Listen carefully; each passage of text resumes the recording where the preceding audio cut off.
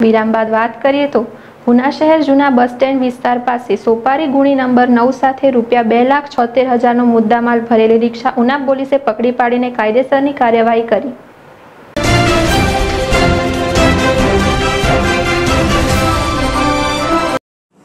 હાલ સમગ્ર novel corona વાયરસે ભરડો લીધેલ હોય અને માનવ જિંદગી સામે આ વાયરસે લીધે મોટો જોખમ ઊભું થયેલો હોય અને નોબલ કોરોના વાયરસ સમગ્ર વિશ્વમાં હાહાકાર મચાવી રહ્યો છે. ત્યારે ગુજરાત રાજ્ય અલગ અલગ શહેરોમાં કોરોના વાયરસ શંકાસ્પદ દર્દીઓ અને કોરોના ફેલાતો હોય અને કોરોના વાયરસ ભયંકર રોગ હોય અને માનવ જીવને જોખમકારક હોય, જેથી રોગને ફેલાતો પ્રસિદ્ધ કરવા આવેલ ત્યારે સમગ્ર ગીર સોમનાથ જિલ્લામાં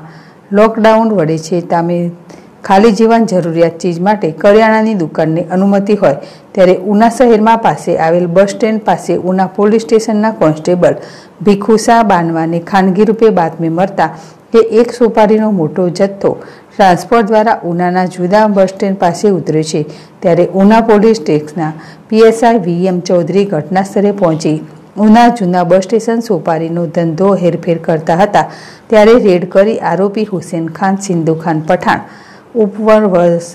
એક રહે કૂચ કૂચ ફર્યા પોતાના ટ્રાન્સપોર્ટ દ્વારા સોપારી ગુણ નંગ નવ કિલો છસો નેવું, જે સોપારી એક કિલોના રૂપિયા ચાર હજાર લેખે તેની કુલ કિંમત બે લાખ છોતેર હજાર સોપારી ખાદ્ય ચીજ વસ્તુમાં આવતી ન હોય છતાં ગેરકાયદેસર મંગાવી અને જાહેરનામાનો ભંગ કરી આરોપી નંબર બે અજીત સિંધી, રહે રાજકોટ, રાજુભાઈ નસરુદ્દીનભાઈ લાલાણી, રહે ટીબી. તેઓને ઉના પોલીસ પકડવા ચક્રો ગતિમાન કર્યા છે. પાયલ બાંભણિયા, જેડેશ ટીવી, ઉના.